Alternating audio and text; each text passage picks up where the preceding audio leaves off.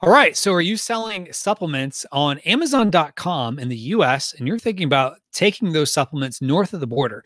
Well, that is going to be a great way to grow your business. And uh, regardless of whether or not you're selling supplements, but you're just curious about selling on Amazon in Canada and want to know mechanically the steps of how to get that done, this video right here, you should see a link there in the corner, which will take you to a video, will walk you through step by step how to sell on Amazon in Canada. But to talk specifically about um, supplements, you need what's called a natural products number. So basically, once you get outside of the US, uh, I don't personally sell supplements, but I do have a service where I help people grow into international marketplaces. And the clients I've worked with who um, have experience with supplements, they've found that it's not quite so easy to just list the product as if they were selling a garlic press or a yoga mat, to use uh, analogies of uh, fairly cliche products.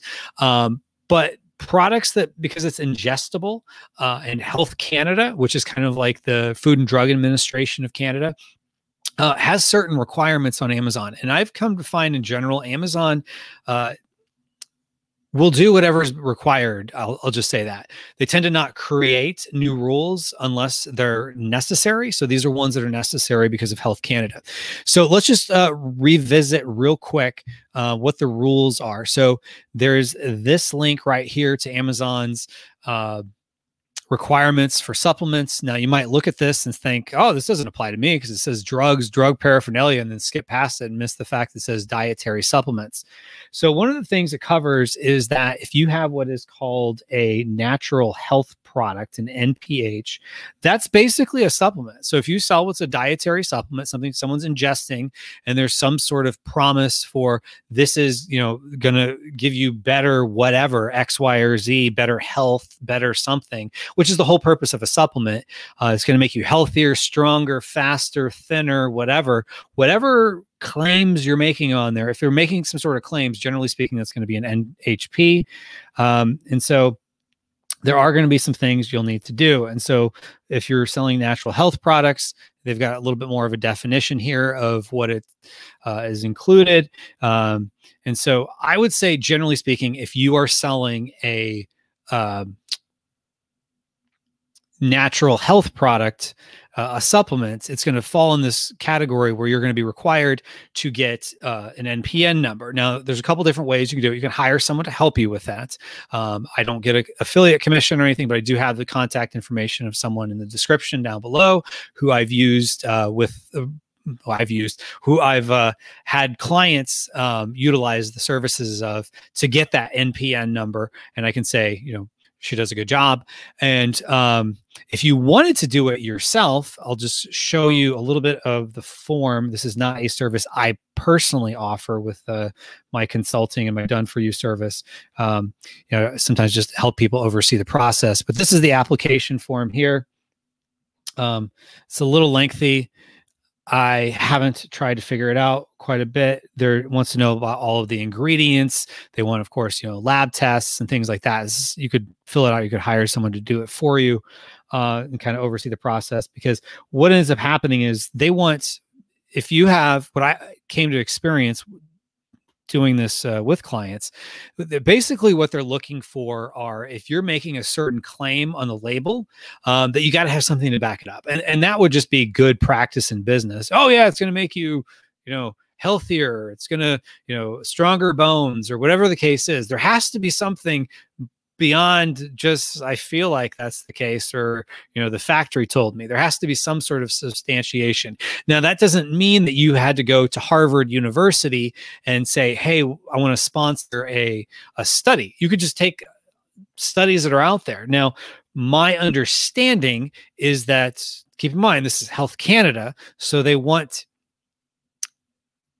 prominent if possible, if if the studies exist, it's probably going to do you favors if the studies you're citing are from prominent Canadian universities like McGill or University of Toronto, which are kind of like you know they're Harvard and Yale, I guess.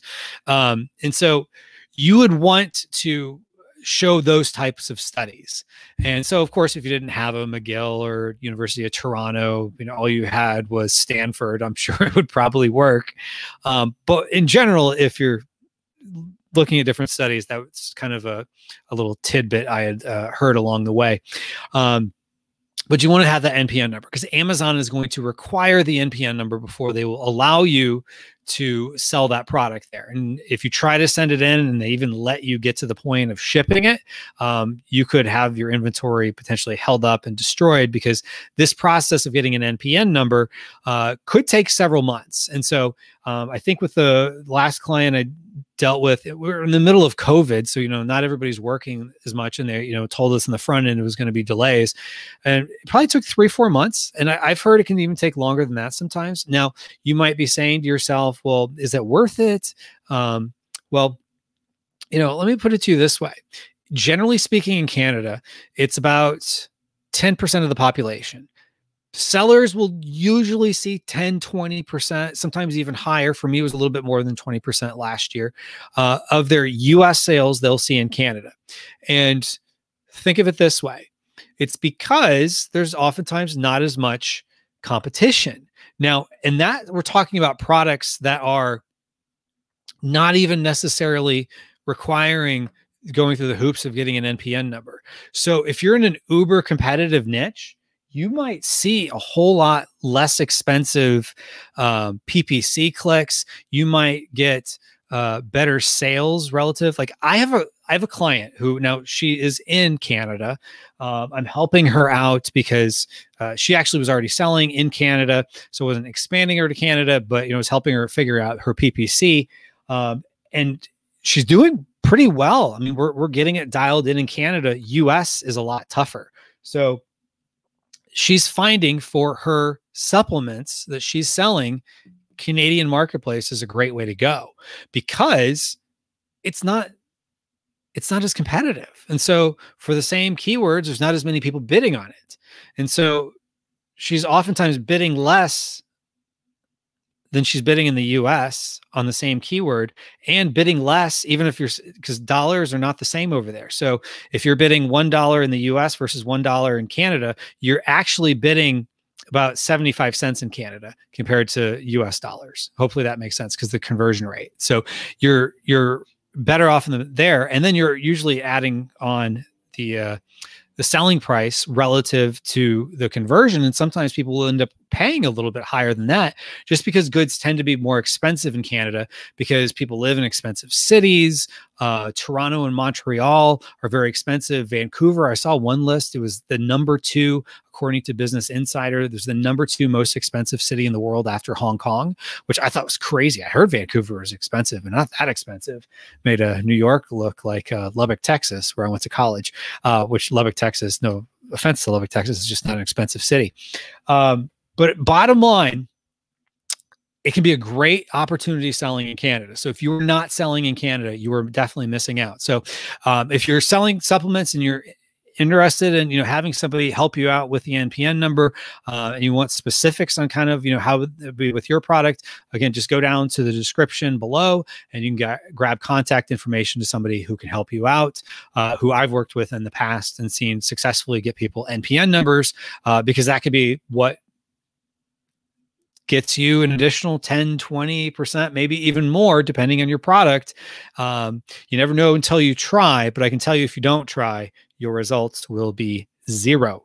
So hopefully you found this video to be helpful. If you could smash the like button as they say uh, or subscribe to this channel and uh, let me know if this video is helpful in the comments down below and i wish you the best. Take care